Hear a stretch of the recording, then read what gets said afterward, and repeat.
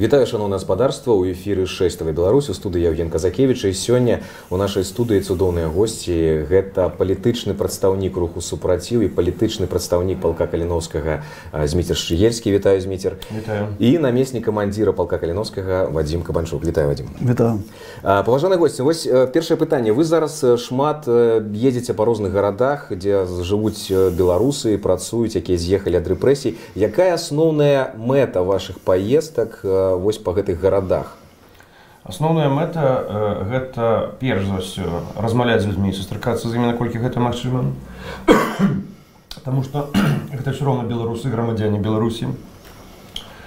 Разумець чым жыве і дыхае дыаспора другое гэта сустрэчы з э, палітыкамі прадстаўнікамі ўлады грамадскай супольнасці экспертнай э, супольнасці гэтых краін. Ну гэта польша і літва перш за ўсё Ну і трэцяе гэта таксама паразмаўляць сродкамі масавай інфармацыі, таму што адбываюцца змены.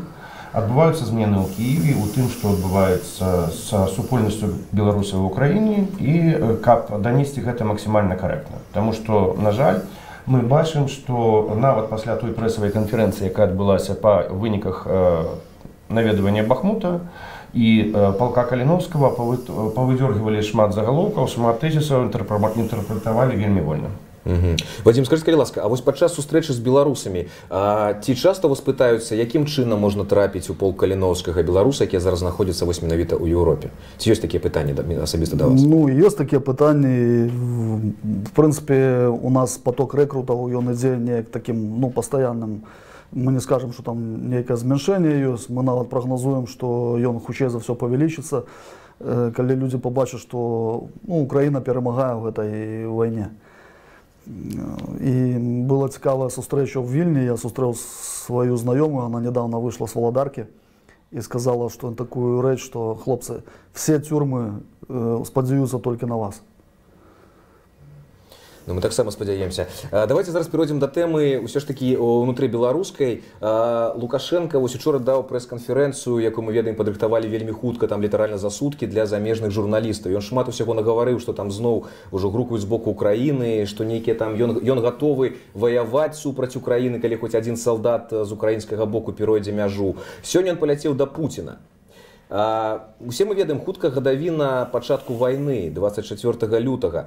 Зміцер чаго чакаць ад гэтай паездкі лукашэнкі да Пуціна. Ці можа адбыцца якое-нибудь ну вот не ведаю там новае ўтварэнне бо зараз расійскі дэпутат учора сказаў што хуткім часе беларус стане часткай рассею то есть прыйшоў час гістарычнага аб'яднання беларусі рассеі таксама вядома што чакаецца ў москве візіт прадстаўніка абхазіі і некаторыя сМ пішуць непацвержная інфармацыя што магчыма абхазія беларусь стану часткай рассіі пасля гэтай сустрэчы з пуціным і 22 лютага ў лужніках у пуціна будзе вялікі выступ. Чаго вось чакаць ад гэтай паездкі Беларусь э, можа аб'яднацца з рассіяй толькі ў адным выпадку когда александр егорович атрымае э, пасаду прэзідэнта гэтага аб'яднанага фармавання. Пакуль ён я вельмі сумняваюсь что владимир владимирович сабраўся памірыць або застрэліцца больше нешта з сабой зрабіць.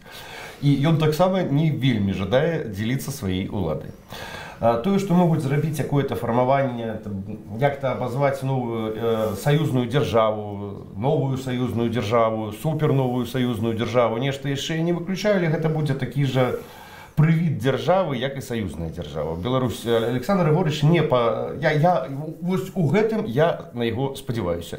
Ён сваю ўладу не аддасць і таму нічога ён не не, не войдзе Беларусь у склад расійскай федэрацыі. Калі казаць пра вайсковыя пытанні то гэта і прагноз то гэта хутчэй пытанне да вадзіма каб ён распавёў іх чалавек які больш кампетэнтна ў даных так так вадзім калі ласка вы мяркуеце што вайсковы пункт гледжання не зменіцца нічога. то Я чекаю э, размов наконт э, зброі масового поражения, э, тому что уже несколько разов и Путин, и Лукашенко про это выказывались. И мы так уважаем, что Беларусь находится под оккупацией, там присутствуют российские войска, армия Беларуси фактично працує в речищі планов Генштаба Російської Федерації. Зараз вони займаються тим, що відтягують частку українських сил на північ України. Ну і зрозуміло, оказують логістичну підтримку. Таму з вайсковай кропкі гледжу не зменіцца нічога. Ну вось лукашенко таксама заявіў а, учора на прэс-канферэнцыі што ён сказаў мне не трэба стратэгічная ядерная зброя мне хопіць тактычнай ці можа на гэтай контэсці размова вось сёння мы зараз Не размаўляем выключаем. вадзіма як лічыце Я ўпэўнены, што там і будзе размова м, на гэты конт весціс і гэта ж такая ну, апошні довад дыктатараў. Не чапайце нас, мы дурныя зараз самападравемся там і вас падравем. Ну і асабліва з улікам того, што э, э, Лукашенко сапраўдны псіхапат, а Пуін спрабуе ім прыкідвацца. І даць яму тактычную ядерную зброю гэта такая эскалацыя чарговая, таму што захад разумее, што э, адказнасць і так сказаць магчымасць увязвацца ў авантуру Лукашенко не меншая за Пуціна магчыма большая гэта першае другое ну як бы э, тут будзе такі момант э, яшчэ раз попробовать эскалировать яшчэ раз націснуць на захад з боку Пуціна праз Лукашенко. І ў гэтым я пагаджаюся з вадзімам гэта першае другое я вярнуўся крыху назад на пытанне якое было до гэтага у вільні мы сустракаліся з палітыкамі я не буду казаць з кім зараз хаця ну в прынцыпе некаторыя там зразумеюць Мачыма калі адсочаць сацыяльныя сеткі гэтых палітыкаў тым ліку і вельмі спрабавалі а, пераканаць іх у тым што неабходна палітычная воля а, прызнання беларусі акупаванай дзяржавай дзяржавы акупаванай расійскай федэрацыі прычым з 20 лютого 22 года.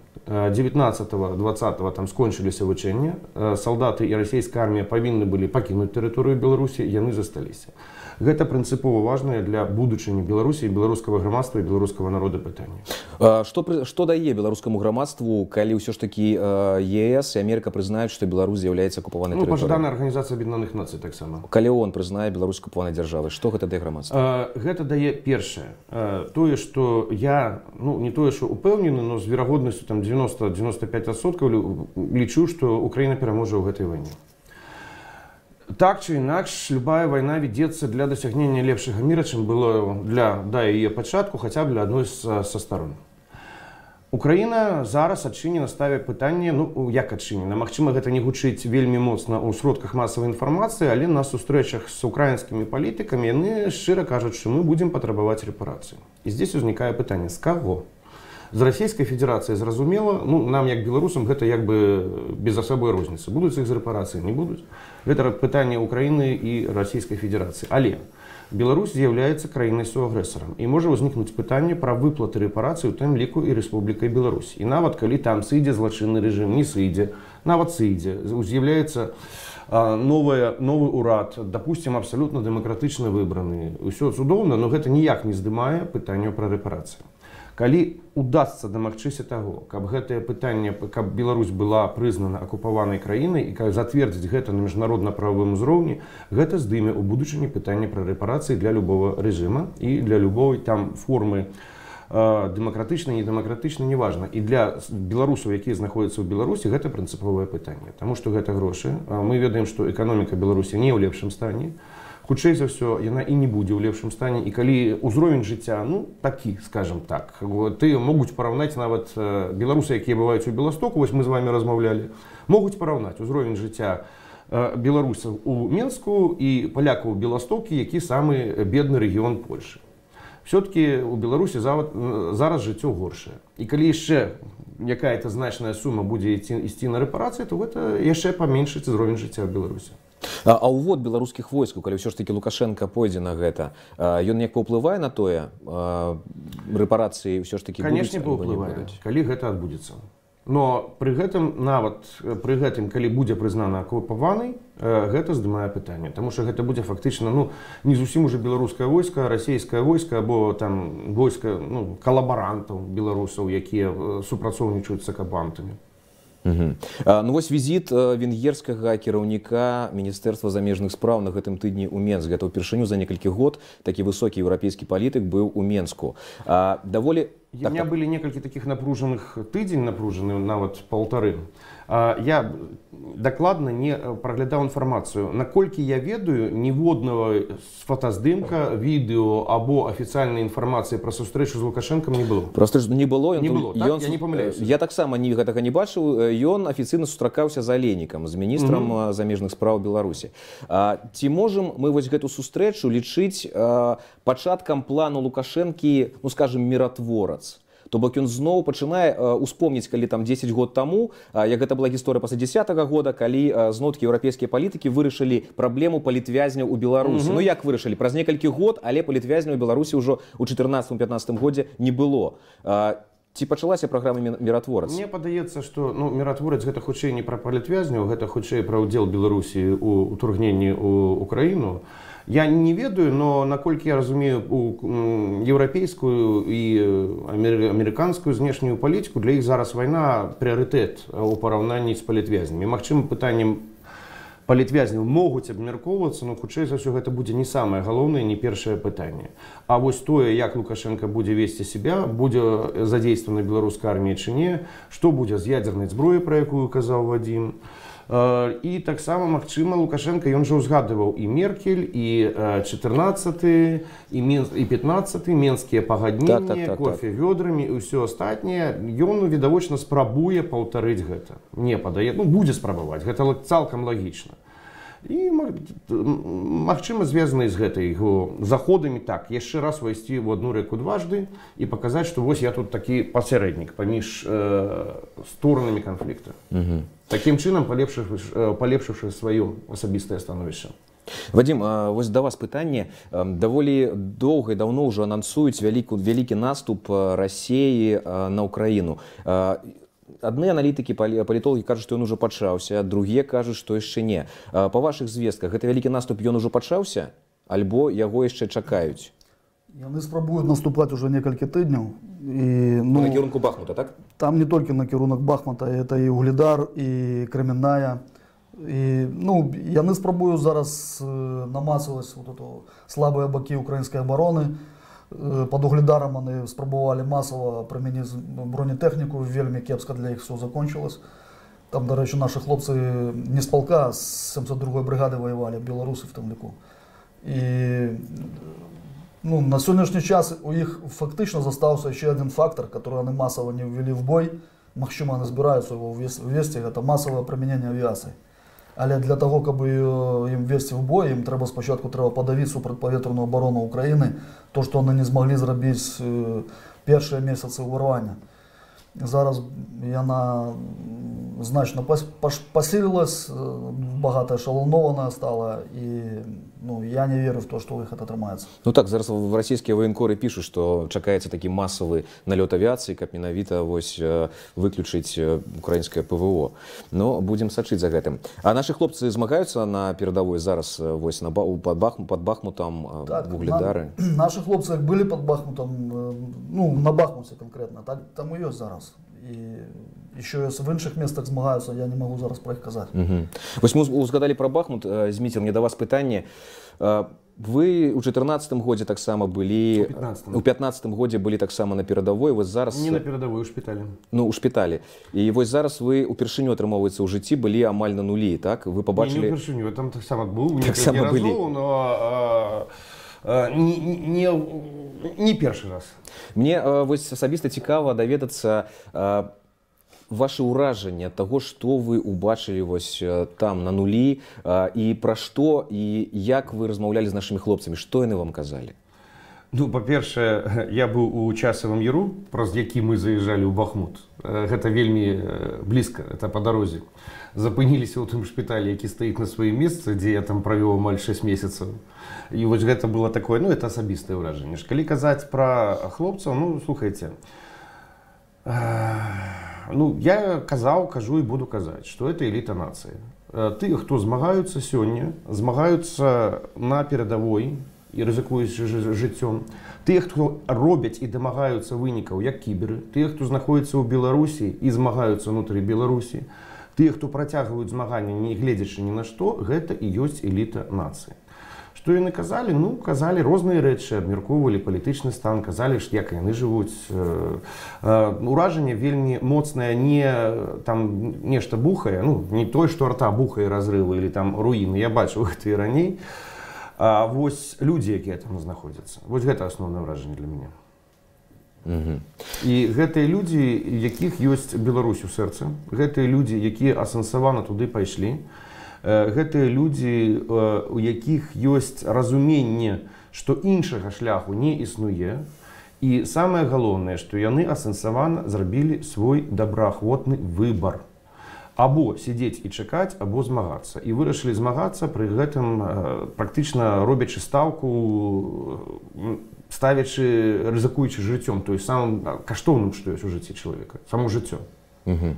Э, Вадим, э, да вас пытанне Э, сёння Валер Кавалев дадаў так, так, так. хвілінку і што меня ўразіла яшчэ вельмі што сярод хлопцаў а, ёсць людзі з вельмі добрай адукацыяй ёсць людзі просто ну, такім сусветнага ўзроўню адукацыі якіх са- абсалютна спакойна маглі бы працаваць і ў Еўропе ў злучаных штатах зарабляць вельмі добрыя грошы як прафесіяналы але яны ахвяравалі гэтым у тым ліку і пайшлі э, у полк каліновскага і, і такіх людзей даволі шмат Э, Вадим, так, вось э, да вас пытанне. Сёння э, адзін з чальцоў пераходнага кабінета Валер Кавалеўскі заявіў у эфіры у Ютубе ў эфіры, што аб'яднаны кабінет зрабіў даволі шмат для палка каліновскага нават больш, чым ён мог.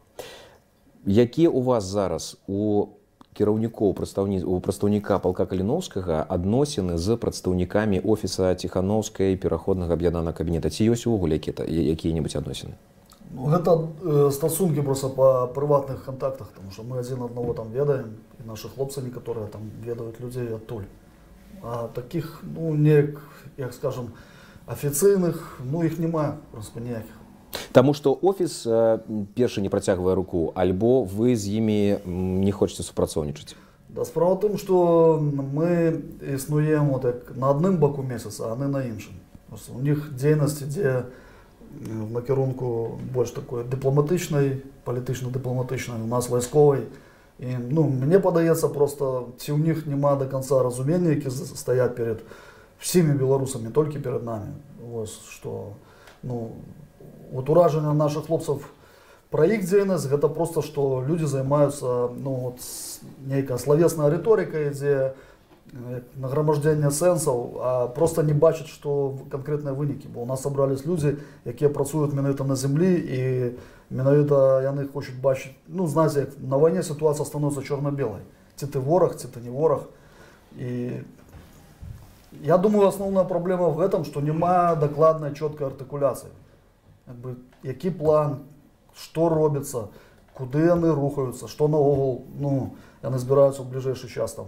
Гэта прыклад тое самае што стратэгія што зараз кажа і прадстаўнікі пакажуць прадстаўнікі офіса прэзідэнта ўкраіны яны кажуць мы таксама пакуль не разумеем на якім э, яны э, баку. Таму мы зараз ніякія з імі стасункі не вядзем Я так правильно ну, разумею? гэта вы пра выказванне Михаила Михайловича падаліка так так Ну слухайте украінскі бок гэта Украіна незалежная краіна яны маюць права фармаваць свае пазіцыі як яны лічаць патрэбным і казаць як яны бачаць Я думаю што нам не трэба ўмешвацца ва внутреннюю палітыку Украіны Э, Вось хацелася закрануць тэму э, анансавання стварэння рады бяспекі э, у якую уваходзіць э, супраціў пол каліновска. Будуць уваходзіць гэта толькі анансаваны гэта яшчэ не створана. Э, пол каліноўскага вольная Беларусь і кіберпартызаны калі Ну хаця б нехта з э, журналістаў задаў пытанне што гэта анансавана не створана Таму што Так, так, час пытаюць ну вы ж уже стварылі мы нічога не стварылі так так гэта анансавана але яшчэ не створана кансультацыі Кансультацыі, так. Вось калі па іх выніках будзе аб чым размаўляць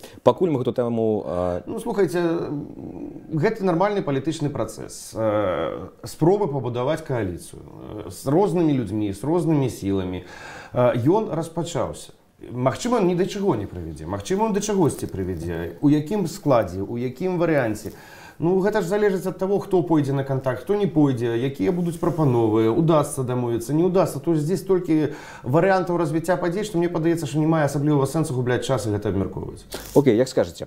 Тады ў мяне ўзнікае наступнае пытанне. Вось глядзіце, у нас зараз за два з паловай гады стварылася даволі ну даволі шмат э, розных такіх структур апазіцыйных так? Э, ну можем пералічыць можем не пералічыць мы і так усе іх ведаем. Гэта і офіс пераходны кабінет э, дэмакратычныя сілы э, якімі кіруюць валер цапкала дмітрий балкунец э, вось зараз ствараецца рада бяспекі э, ёсць яшчэ больш меншыя структуры. Які? харугвы э, паспалітае рушанне якое таксама створана. Ну вось глядзіце я б, э, каб каб зразумець што адбываецца я бы вось не проста іх пералічваў а раздзяліў па як бы накірунках і стратэгіі. Так. Значит офіс э, і кабінет гэта фактычна палітыка такой да нават больш дыпламатычна палітычны накірунак дзейнасці. І тое што арыентавана як мне падаецца в большай ступені на захад і на тое каб быць добрымі партнёрамі для захада удобнымі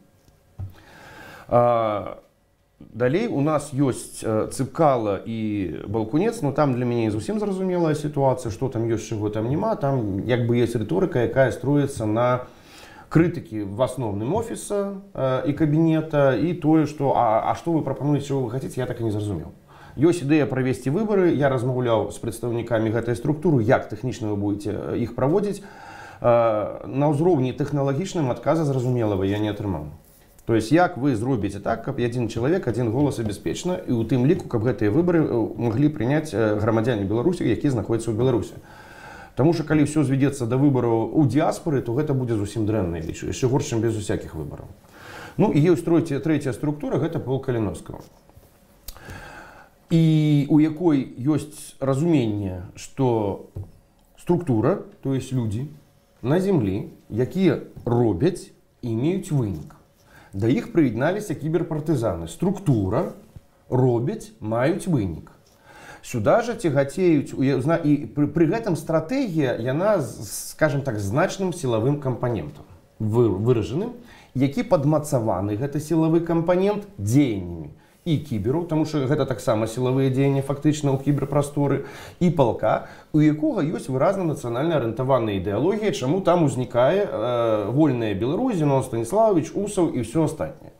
То есть вот там ёсць зразумелая ідэалогія, зразумелая стратэгія, ры- праца, структуры, вынікі.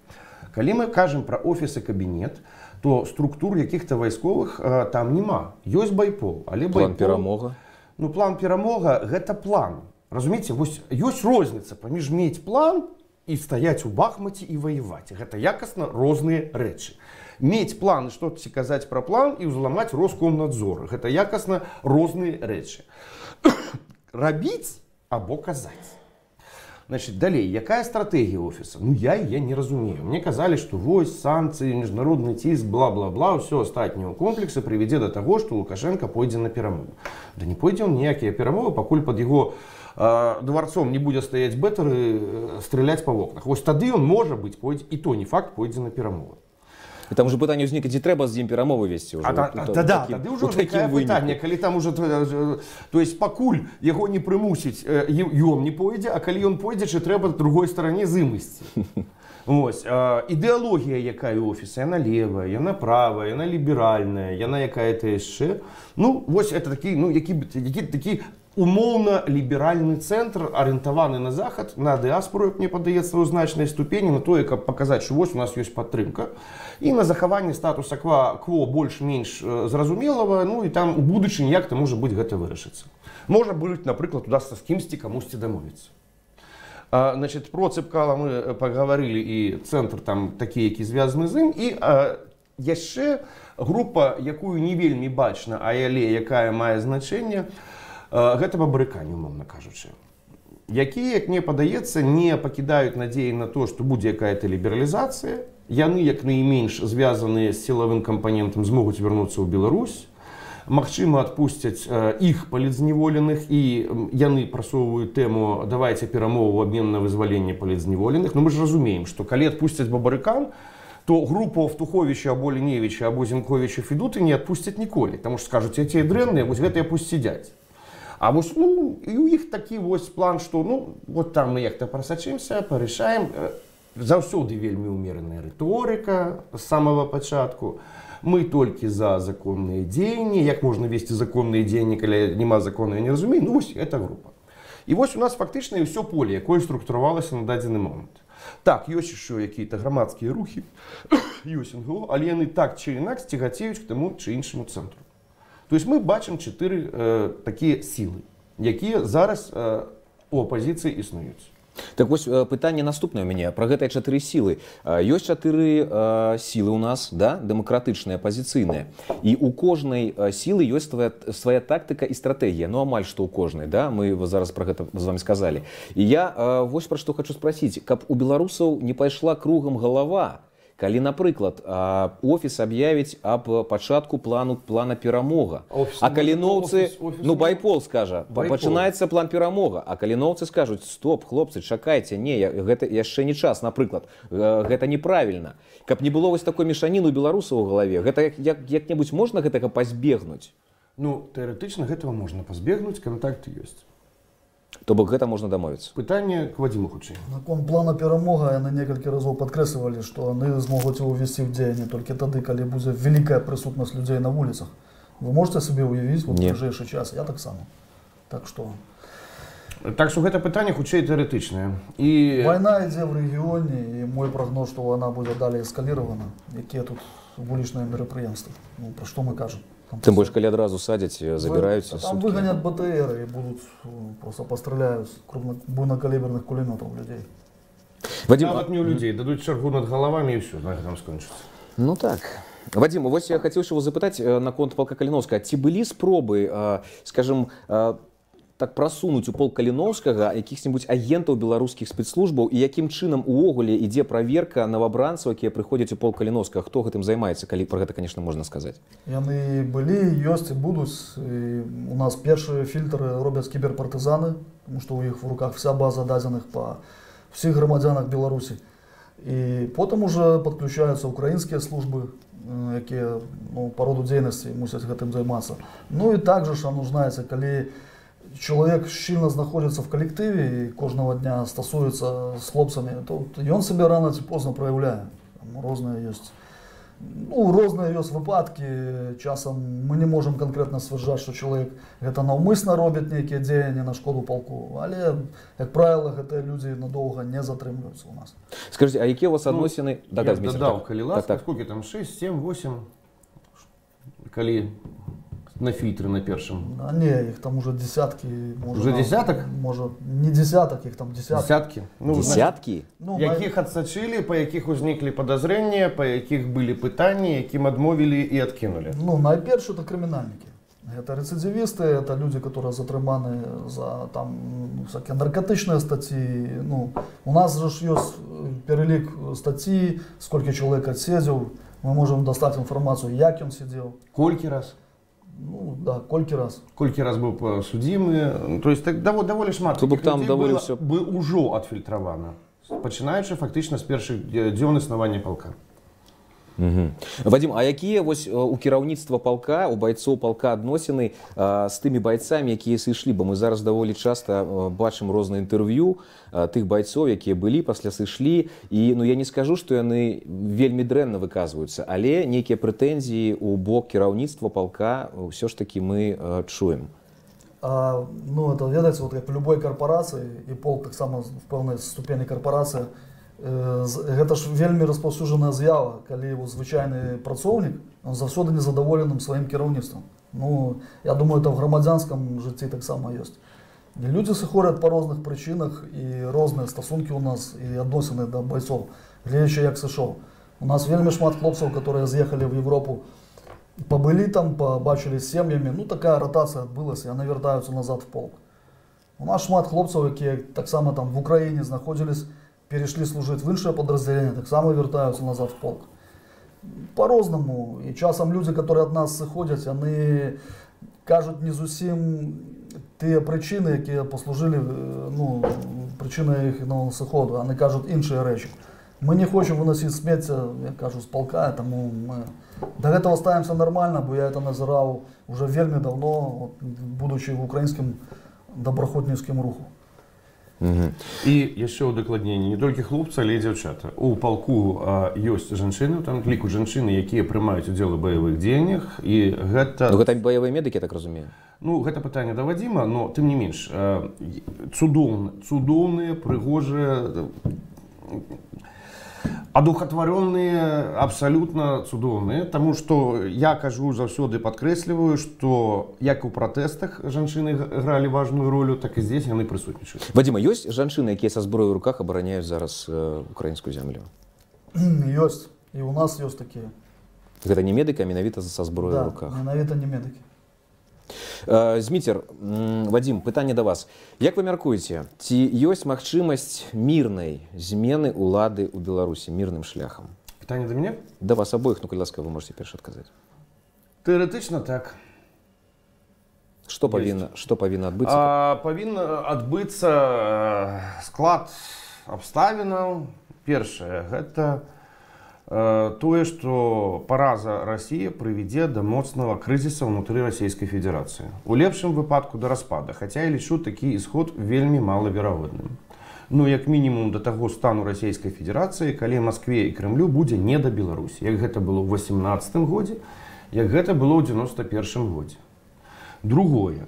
Змена настрою у э, беларускіх сілавікоў, якія так ці інакш, напрыклад, магчыма, будуць уцягнуты ў вайну, прымуць удзел у, у, удзел у ўрванні, у баявых дзеяннях на тэрыторыі Украіны панесуць страты і пасля пачнуць сур'ёзна думаць, чым гэта трэба, ці не трэба. Гэта дзеянне санкцый і ўплыў міжнародны, пры якім значит, сітуацыя будзе такая, што будзе відавочна, што крызіс немагчыма пераадолець без якой-то якіх-то перамоў, напрыклад, круглага стала або іншага механізма, які ў гісторыі даволі ізвестны, як гэта робіцца. Трэця, это трэця уже четвертая збіўся там з падліку. Яшчэ адзін вельмі важны складнік гэта існаванне моцнага руху э, такога як полк каліновскага стварэнне б- факт- фактычна зачатку беларускае войска беларускай арміі сур'ёзны рэзерв харугві сур'ёзны ціск санкцыі. І ўсё гэта разам калі складзецца плюс атачэнне лукашэнкі калі яно будзе разумець што іншага выйсця няма пачне або на яго давіць або зробе пераварот напрыклад я не выключаю заб'е лукашэнку. Ну вось у такім варыянце ёсць мірны магчымасць мірнага вырашэння крызіса. Але мне падаецца што каб все так ідэальна склалася гэта на жаль малаверагодна М, Вадима вы як мяркуеце Ну, я бачу, што гэтыя падзеі роўна будуць звязаны з падзеямі в Украіне. Гэта хутчэй за ўсё будзе звязана з тым, што Украіна ці пераможа, ці будзе ўжо перамагаць. І там па сцэнарыях розных, калі Беларусь э, войдзе в сухапутную аперацыю супраць Украіны, гэты разгром будзе хуткі. Калі магчыма она не войдзе, э, то ну, тады хутчэй ўсё дэакупацыя Беларусі ад расейцаў і ад рэжыма внутренняй акупацыі адбудзецца можа быць трошки пазней пасля перамогі канчатковай над Расіяй, але это будзе вельмі хутка. Потому что фактычна рэжым будет в изоляцыі, тому што ну, зразумела, што Москва ўжо не зможа быць э, як апірышчым рэжыму і ён вельмі хутка там схлопнецца. Э, харугвы зараз створанае паспалітае рушанне якім чынам гэтыя арганізацыі могуць паўплываць на вызваленне беларусі яны знаходзяцца за мяжой на вызваленне беларусі могуць паўплываць перш за ўсё тыя беларусы якое якія знаходзяцца ўнутры беларусі і мне вельмі не падабаецца кожны раз падкрэсліваю што чаканне што нехта звонку. Або там нового прэзідэнта злучаных штатаў выберуць памятаеце все спадзяваліся вось выберуць байдена ён парашае пытанне беларускай прычым я гэта бачу на кожных выбарах там уже апошнія 20 год. А вось ведуць новыя санкцыі гэта парашае пытанне А вось там, напрыклад, даже 20 год, ну да, яны як бы звязаныя з Расіяй, ну вось Путін па, на, нажме і вырашыцца пытанне з дыктатурай. А вот Лукашенко памрэ мне з першага першы год, шосты год, 10, 15, 17, калі былі недармаеду выступы. Калі ўсё гэта ідзе на спад, пачынаюць тэлефанаваць. Ну ты ж доктар, ну скажы, што ён памірае. Ну вось бачыш у яго язвачка недзе, вось он не так сидзіць, не так ходзе, ён кульгае, гэтак далей, ну ён жа памірае. Гэта такое падсвядомае жаданне, каб нешта здарылася і гэтае пытанне вырашылася. Значит, не вырашыцца гэтае пытанне, потому что калі чакаць э, да таго, што оно вырашыцца само сабой, то гэта будзе даколе. Ні- Даколе, даколе. І ўзнікне новы коля замест Александра Горыча. Николай Александрович. Значит, э, але паспалітае рушэнне, э, там, перамога, пол Каліновскага, усё гэта ў сітуацыі крызіса і выступаў беларусі зможа стаць той сілай якой не хапіла ў двадцатым то есть на ўздыме на палітызацыі на крызісы а, пры тым што войска пасля параза рассею в вайне можа сядзець на попе роўна казармах і чакаць чья возьме Вось гэтыя людзі у тым ліку і за мяжы могуць паўплываць і зрабіцца той апошняй саломінкай якая ламае хры, хрыбціну верблюда і якой не хапіла ў двадцатым. Без усіх гэтых перадумоў просто што зойдзе полка все парышае гэта тое ж чаканне што выберуць нового прэзідэнта злучаных штатаў або яшчэ там нешта і вось яно все 25 год можа быць гэтай кропкай пра што вось не ведаю.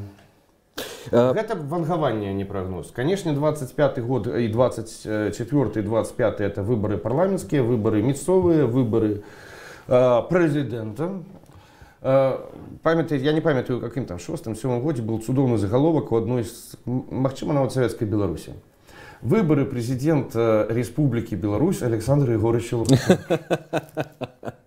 так, так, так. Ну, таму я кажу выборы ну сама сама электаральная кампанія яна можа э, зрабіцца но без перадумоў звязаных з вайной можа гэта можа адбыцца і раней чым 25 Вадим а, пытанне да вас. Пол каліновскага гэта аснова арміі у новай у новай беларусі?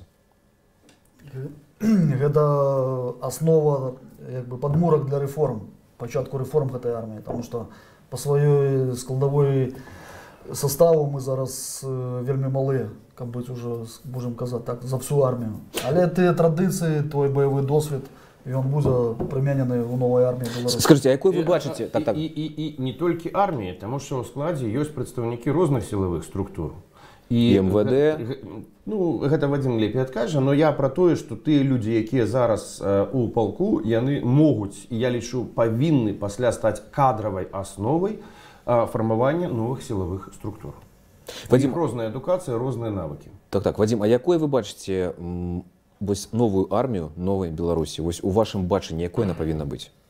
Ну, она павінна быць дакладна не такой як зараз. Гэта маленькая савецкая армія якая зараз захоўваецца. Э, як, якія могуць быць традыцыі в этой арміі калі жаўнеры называюцца афіцераў шакаламі? Ну і это адбываецца до сих пор. І старая савецкая зброя э, старыя суадносіны вот это дневальныя на тумбачках. Ну что это такое наогул гэта якое стагоддзе Ну, як не можа быць нармальнай сучаснай эфектыўнай арміі в неэфектыўнай дыктатар, дыктатарскай краіне. Мы это бачым. І безумоўна у нас ну па-першае армія беларусі она можа быць э, рэфармавана там напрыклад по швейцарскаму узору потому что калі у нас знікае фактор моцнай рассіі як суседа у нас цалкам змяняецца ну як бы геапалітычны вот эти м, прастор і пагрозы змяняюцца. І мы можем там э, ну гэта такое вялікі вялікая размова вялікае праектаванне на будучыню. Ну спадзяюся што мы пра, пра гэта яшчэ паразмаўляем у наступны раз. Асноўнае, што павінна быць у новай арміі, як у новых спецслужбах, з гэта змена, то есть зброя, натаўскія стандарты, гэта все цудоўна. Ну перш за ўсё змена этыкі і псіхалогіі, ментальнасці. Вось і пры гэтым гэта немагчыма зрабіць толькі ў арміі. Армія частка грамадства і адлюстроўвае грамадства. І калі мы не зменім этыку адносіны і ментальнасць усім грамадстве, нічога не будзе і з арміі. беларуская мова гэта таксама частка новай арміі беларусі безумоўна інакш якую мы армію будем будаваць якой краіны чакаў гэтага адказу дзякуй А, яшчэ хацеў бы запытаць напрыканцы нашай размовы вось зараз э, у рассіі актыўна выпускаюць памяткі па актыўнаму і пасіўнаму супраціву ўварвання ва ўкраіну прапануюць падпальваць ваенкаматы блакаваць чыгуначныя э, пе- пераходы пакідаць самавольна вайсковыя часткі здавацца ў палон А што бы вот вы асабіста вадзім вы асабіста зміцер параілі беларусам усё ж такі давайте рыхтавацца ўсё можа быць у нашай краіне калі напрыклад пачнецца мабілізацыя бо лукашенко ж паабяцаў што ён сабярэ 500 тысяч чалавек А, што у выпадку мабілізацыі вы параілі беларусам якіх пачнуць зараз позвамі у военкамат вызываць даваць ім зброю адзенне ваеннае адпраўляць кудысьці на мяжу з украінай Я бы параіў тое, што як бы зараз гэта будзе адбывацца хутчэй за ў умовах зачыненых межаў уже збегчы з Беларусі будзе амаль немагчыма. Ідзіце военкаматы, бярыце зброю. Э, Калі ўрэшце рэшт вас пагоняць в Украіну, э, пры першай жа магчымасці э, сабатуйце гэтыя прыказы, выводзьце з ладу тэхніку, Таму што толькі жаўнер, который едзе на нейкай машыне, э, можа вырашыць, куды она паедзе. Тэхніка старая па 40-50 гадоў. Там вельмі часто бывают поломки, якія могут быть звязаны з чалавечым фактарам. Гэта немагчыма даказаць. Э, Па-другое, пры пере... перетані кордону Украины, при першай жа магчымасці здавайся з палон. Ці ну, просто дезертуйся з, з войска. Лепей застацца жывым нават з ганьбай, але застацца в жывых. Таму што вас украінцы там уже сарціраваць не будуць. І я знаю настрой зараз беларускай армии, потому что я общался недавно с жаўнером, который приехал вот в Польшу. И он кажа, а яны большасць з іх разумеюць, што нават калі іх пагонят в Украіну, яны думаюць, гэта іх не будзе стасавацца от асабіста. Да? Гэта ілюзіі, которые просто будуць развеяны з прылётам першых гаубічных снарядаў. А ці ёсць магчымасць беларускім вайскоўцам якіх все ж таки калі не, не дай бог адправіць ва ўкраіну перайсці на бок палка каліновска ці гатовы каліноўцы прыняць беларусаў якія э, скажуць мы не гатовы страляць украінцаў мы хочам да вас ці ёсць якая магчымасць звязацца з прадстаўнікамі палка і вось быць падрыхтаваным ужо на выпадак калі прыйдзецца не дай Звязацца можна і яшчэ зараз. Некаторыя звязваюцца, э, таму што калі яны ўжо будуць э, задзейнічаны, у іх хутчэй за ўсё не будзе ні інтэрнэту, ні сродкаў, праз якія можна. Але таксама там застаюцца яшчэ там элементы там, рацыі, там іншыя, там просто белую с- какую-нибудь тряпку падняць. Безумоўна можна і мы украінскага камандавання просім, што калі будзе ўварванне з поўначы, каб яны нас паставілі на той накірунак. Бо нам будзе ўсё ж такі лепей сустракаць сваіх землячкоў. конечно конечно Дмитрий вас ёсць вам што дадаць Паважаныя гледачы сёння у нашым эфіры былі палітычны прадстаўнік э, руху супраціў палітычны прадстаўнік палка каліновскага а таксама намеснік камандзіра э, Дмітрий шыбель шыгельскі і намеснік камандзіра палка каліновскага Вадзім Кама- кабанчук калі ласка подписывайтеся на youtube канал палка каліновскага на телеграм-канал палка каліновска на телеграм-канал кібераў супраціва ну і канешне на наш канал ставце падабайкі і дасылайце спасылкі на гэты эфір сваім сябрам каб як, як мага больш беларусаў паглядзелі і паслухалі наших выбітных э, родных беларусаў беражыце сябе жыве Беларусь Живи вечно. Жыве вечна.